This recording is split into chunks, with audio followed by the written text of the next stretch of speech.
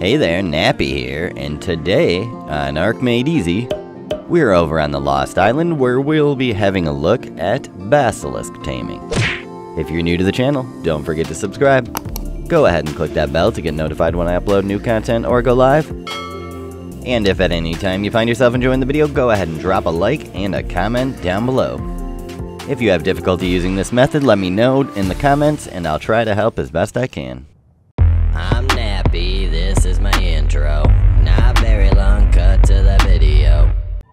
Aside from getting the eggs needed to tame the basilisk, the taming process itself is ridiculously easy, needing only a single foundation, a shoulder pet, small creature that can be carried by a human. The other small creatures that cannot be carried, it's possible to use them, but it's a bit tricky, so you're better off just using a shoulder pet, to be honest. As you can see, you can place the foundation over top of the shoulder pet, no problem there. As long as it's not sticking out, that's going to work just fine. Let's go ahead and pick this up.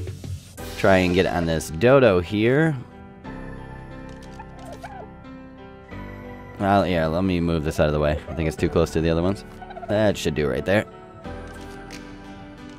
Okay, let's try this right here. Just move it around until you'll find a spot. Just make sure the head isn't poking up through. Go ahead and drop it there. That looks good. As you can see, that's nice and safe. The poison from the basilisk will not penetrate those foundations, at least it should not. And as you can see with the other small creatures that you can't pick up, it's kind of a pain in the butt. Usually they stick out like halfway on one of the sides, so you're better off not using these ones, to be honest. Before you put your basilisk bait underneath the foundation, you're going to want to go ahead and set it to passive and ignore group whistles just to make sure it stays underneath the foundation because it can easily sneak right back out if it's on neutral. We've got a basilisk over here from the previous video where we talked about four methods on finding the basilisk here on the Lost Island. Go ahead and check that out if you need to.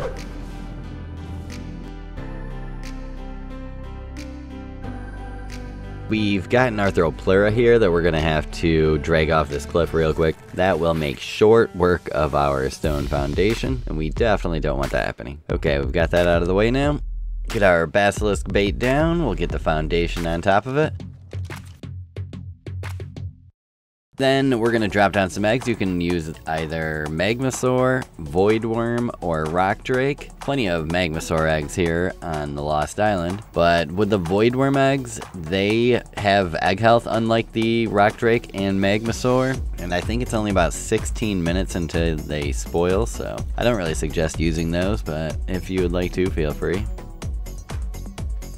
Let's run up here and grab the Basilisk quick and then we just run it right back and the shoulder pet should pull its aggro.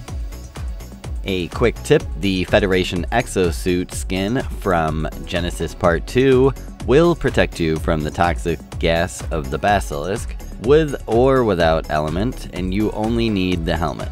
And if we can get this off of the rock, we're going to go ahead and get the taming process started, hopefully. Okay, here we go. Now it's coming up. Once the taming process begins, do not de-render the basilisk or it will bury and ruin effectiveness. And we missed the animation, but it did start taming. You can either track it in your inventory with the creature tracker, or you can actually just run right up to it. It usually keeps aggro on your shoulder pad the entire time. There is a rather large window between each feeding. It can get a little stressful and you might think that it's not working, but just give it some time and this one ends up taking about eight and a half minutes so we're just gonna speed through that real quick and we'll be right back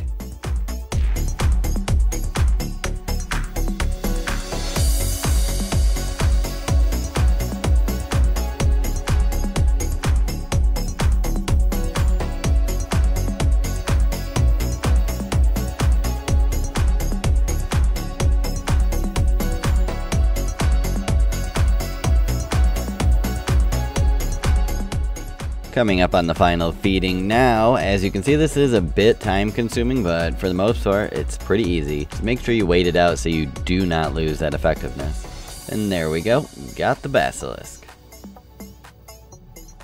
It looks like it likes both the Rock Drake and the Magmasaur. It did not touch either of the Void Worm eggs.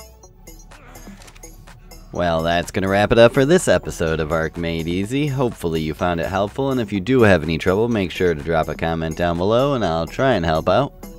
But as always, thanks for watching, keep on surviving, and stay free. You can check out my latest video down below, more Ark Made Easy over on the left, subscribe to my channel down in the corner, and I'll see you in the next one.